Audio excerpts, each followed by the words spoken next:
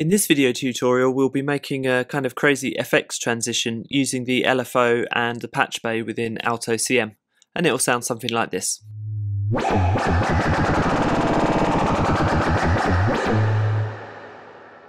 So firstly let's load an instance of Aalto CM onto a track and we're going to start with the default patch which is a basic sine wave. All of the modules within Aalto CM have inputs and outputs and these can be connected with the patch bay just by clicking and dragging and then adjusting the input level dial just like this. This will apply more or less of the signal to that module. So we'll go back to the default patch and we're going to be using our keyboard's modulation wheel which the uh, output for that is uh, this node here.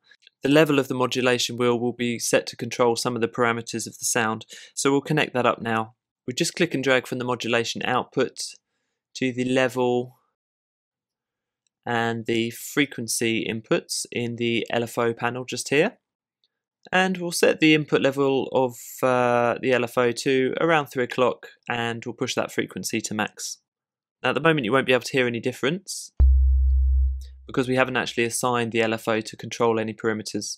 So we'll take a cable out of the LFO module and push that into the pitch input.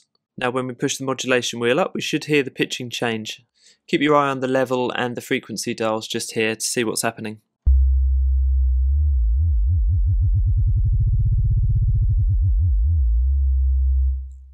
So let's set the input of the pitch to uh, around about 2 o'clock just for a slightly more pronounced effect.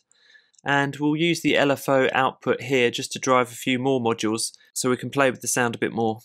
We'll drag another cable from the LFO output node to the complex oscillator timbre input dial. That's just here. And we'll set that at maximum input level.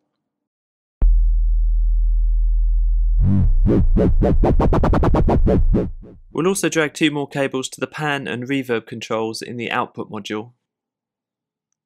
Reverb's here, and pan just here. We'll set these at maximum level 2.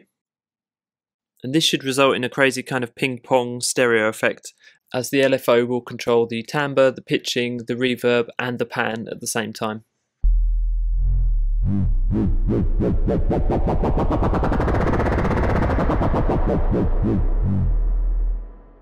You can hear that effect become more pronounced as you push the mod wheel up.